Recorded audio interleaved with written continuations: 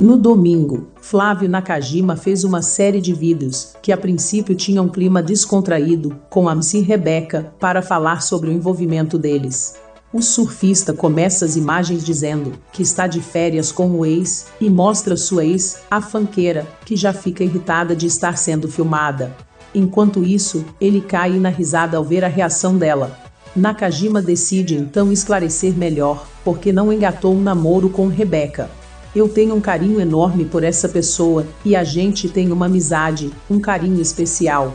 A cantora logo rebate e diz para ele contar aos seguidores o que havia dito só para ela.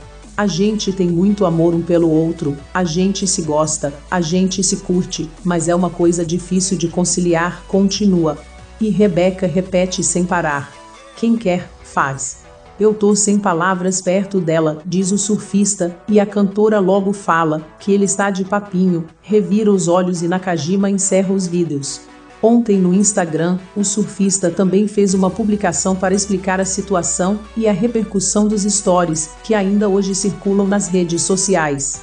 Galera, vou me pronunciar para deixar bem claro, não sou de expor ou responder algo pela net, mas como estou recebendo várias mensagens e matérias em sites de fofoca, resolvi falar. Eu e a Rebeca tivemos um caso após o reality. Sempre foi muito bom quando nos encontramos. Nas minhas folgas vim até o Rio de Janeiro e nas folgas dela, ela foi até São Paulo. Porém, a intensidade está só aumentando. Caso normal quando duas pessoas se gostam esclareceu.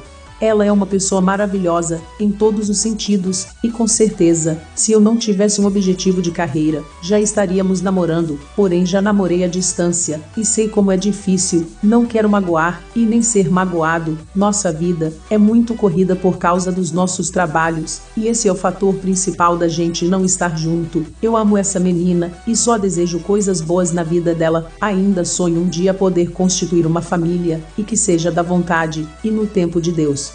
Estarei sempre do seu lado, conte comigo sempre. Te amo, completou. Até o momento, em si Rebeca não se manifestou sobre o ocorrido, mas os fãs notaram que ela parou de seguir Nakajima nas redes sociais no final de semana. E por falar nisso, o surfista está sendo muito criticado no Twitter por sua atitude nos vídeos que postou.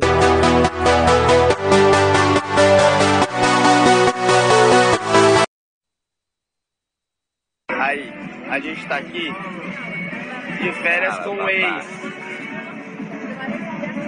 Esse é o de férias com ex. De férias com o ex. Férias. Antes de mais nada, eu tenho pra falar pra vocês que eu tenho um carinho enorme por essa pessoa e a gente tem uma amizade, tem um carinho especial e nossa amizade Amizade tipo é. Fala o que você falou pra mim.